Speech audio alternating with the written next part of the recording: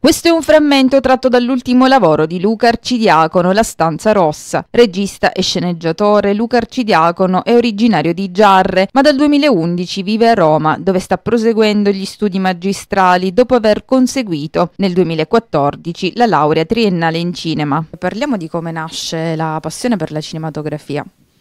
Mm, Diciamo che nasce soprattutto dall'osservazione, nel senso mi, è- mi ha sempre affascinato poter raccontare qualcosa attraverso la mia, la mia versione dei fatti, come io le vedo, no? E quindi mi, piaceva anche da piccolo passeggiare per Giarre, osservare le cose e andare a scrivere. Poi dalla scrittura, piano piano, andando al cinema, ho visto che c'era qualcosa di affascinante, no? All'inizio sembravano essere gli attori, invece poi ho scoperto che c'era tutto un mondo dietro. Quindi mi sono avvicinato al teatro, poi al cinema e ho iniziato a, a scrivere per immagini e lì ho capito che era- avevo colpito nel segno. È partito da un genere specifico, poi è rimasto quello oppure si è, si è evoluto, diciamo, ha scelto altri generi? No, mi piace variare, nel senso che credo di raccontare mh, quasi sempre le stesse storie, però attraverso generi diversi. Quindi ho iniziato toccando la commedia, poi il dramma, il thriller, l'horror. Ecco, diciamo l'unico limite sono stati soprattutto i soldi finora, ma mi è sempre piaciuto variare. Sta continuando ovviamente a studiare, quali sono le collaborazioni più importanti? Eh, sì, diciamo gli studi che ho fatto a Roma in cinema mi hanno permesso poi di entrare in alcune società come Catlei alla RAI, per cui eh, affrontare sia come casting, come assistente alla regia, anche come regista, prendomi una mia piccola società, alcuni film come Lasciati andare di Francesco Amato con Tony Servillo, eh, Moglie e marito con Kasia Smutniak e Favino, Don Matteo, la nuova stagione che andrà in onda breve, Un passo dal cielo, L'isola di Pietro e così via. Quindi diciamo questo mi ha permesso anche poi di finanziarmi cose mie attraverso una piccola società, la Juice Production, che ho aperto due anni fa e con cui produciamo cortometraggi, spot, videoclip.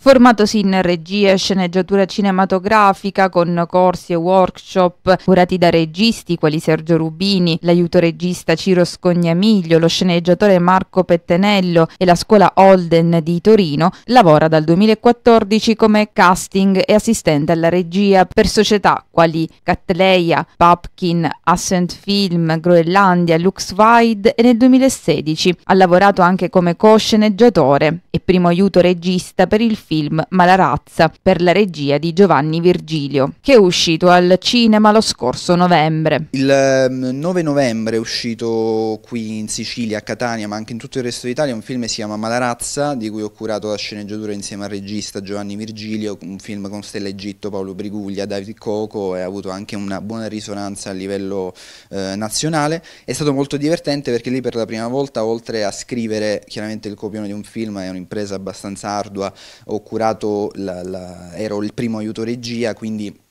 Abbiamo girato per due mesi in luoghi abbastanza importanti, eravamo nella Catania, eh, quella più calda, quella di Librino, San Berillo, perché era un- un- insomma, una storia, che, una gomorra siciliana, quindi una storia eh, dire, molto partecipata ecco, sotto vari punti di vista, quindi ecco, è stata sicuramente una delle esperienze più calde della mia vita finora. Qual è stata la risposta del, del pubblico?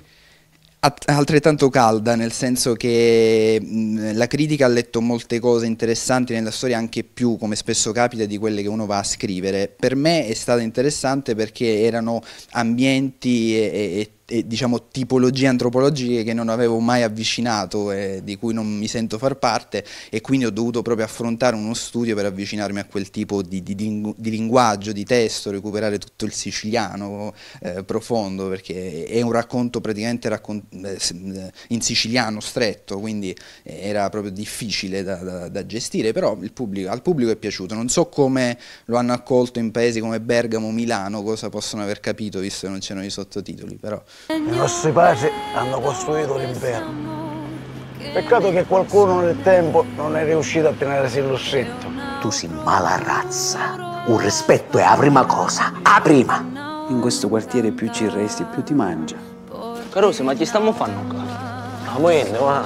Io non me ne voglio andare da qui. Ma perché? E non lo vuoi vedere il mondo?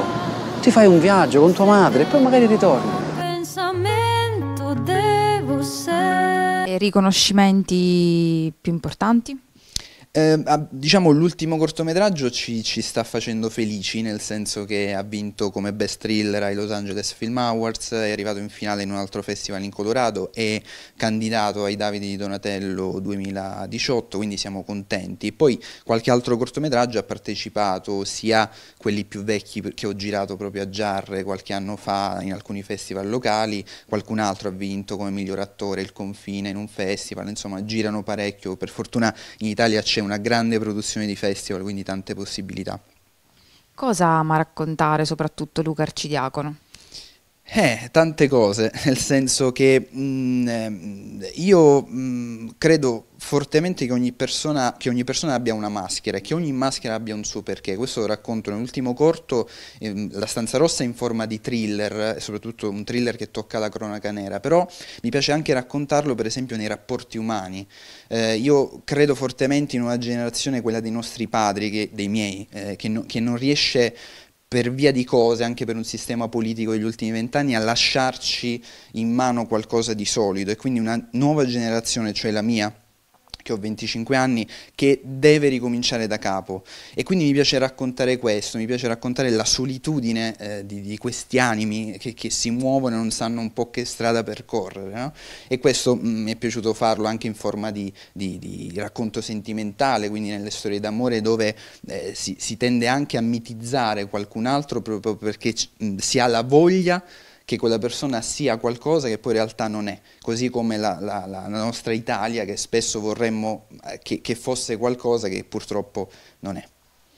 Dal 2016 Luca Arcidiacono fonda la Joss Production, una piccola società romana che si occupa di produzione di cortometraggi, spot e videoclip. Il suo ultimo cortometraggio, La stanza rossa, è distribuito dalla Premier Film ed è attualmente entrato in produzione il suo nuovo cortometraggio, Aggrappati a me, da lui scritto e diretto. Quali sono i progetti futuri?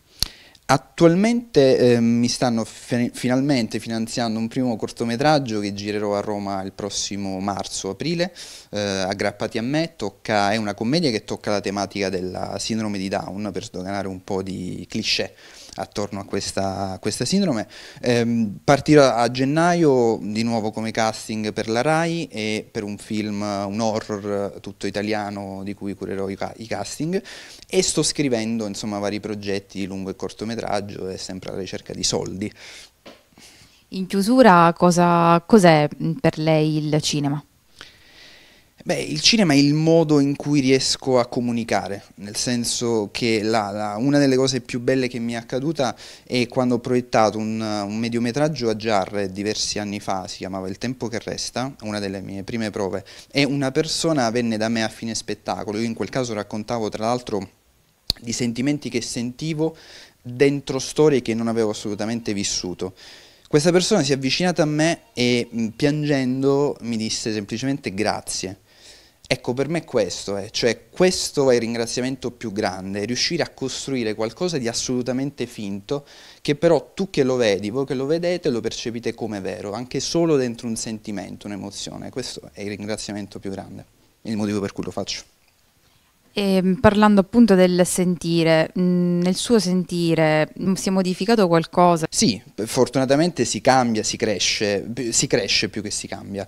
Ehm, sì, chiaramente io mm, scrivo, invento cose da quando sono piccolo, piccolo, eh, e quindi è chiaro che poi grazie anche agli studi, allo spostarmi sei anni fa a Roma e quindi mi ha aperto a una metropoli totalmente diversa da me e da chi mi stava attorno, questo mi ha permesso di, di crescere e di avere una concezione anche più profonda e di poterlo raccontare in modo più profondo, non solo a livello proprio tecnico ma anche a livello di, di strutture narrative, di personaggi, di sapermi esprimere meglio.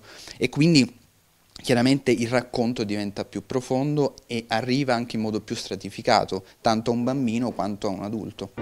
Io non so cosa dire. Ci siamo allontanati, come barche alla deriva, ma non so perché. tempo scorre inclemente e ci carica di fanni che ci soffocano la felicità. Ma possiamo tornare ad essere quelli di un tempo. Possiamo aggrapparci ai nostri ricordi prima che ci scivolino fra le mani.